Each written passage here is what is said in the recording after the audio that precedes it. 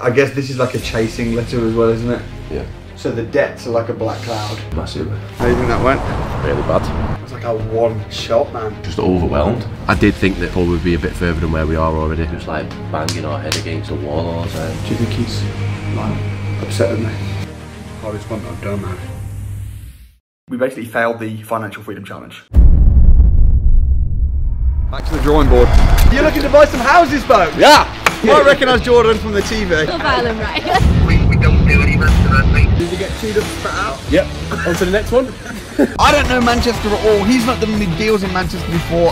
I think this could be a little bit harder than we bargained for. These agents are not having it. Yeah, that's a no-go. What?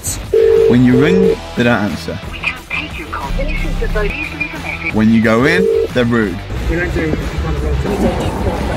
Come on. Never cried so much. And there was me thinking Manchester would be a friendly place. It's falling through. Oh, good mate. I'm excited about that bungalow. It sounds sweet. I'm getting a bit excited now. Oh shit! Oh man! I just had someone crash into me. On to the next viewing. We're in the middle of a pandemic. Everything's closed. We just had a car crash, but nothing's gonna stop us. Can't stop, won't stop. Debt free to financially free to just filthy rich.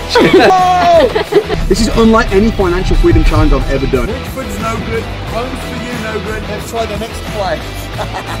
this is gonna be massive. Never seen so many zeros.